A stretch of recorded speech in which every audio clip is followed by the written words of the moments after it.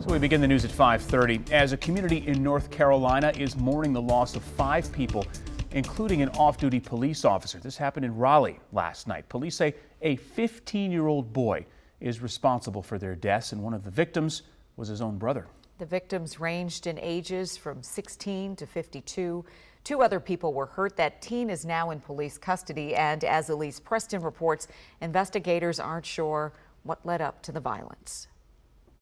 Because we don't have answers as to why this tragedy occurred. As police in Raleigh work to establish a motive for Thursday's deadly shooting spree, North Carolina's capital city continues to grieve. There are several families in our community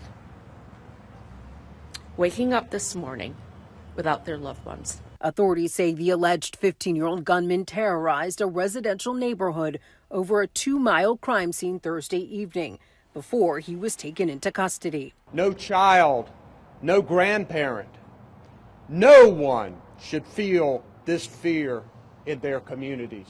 Among the dead, 49 year old Susan Karnitz, whose heartbroken family remembered her in a Facebook post as a wife, mother to three boys, and so much more. Officials say a 16 year old, two other women, and Raleigh police officer Gabriel Torres were also killed.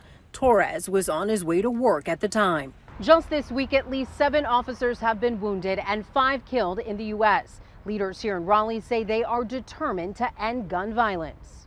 I know that brings us all sadness and anger. We have to do something. The shooting set off a massive police response and an hours long manhunt. It was a long standoff, long situation, but the resolution of it has been successful, and I'm very thankful for that. The suspect is hospitalized. Police have not said whether he injured himself or was injured by responding officers. Elise Preston, CBS News, Raleigh, North Carolina.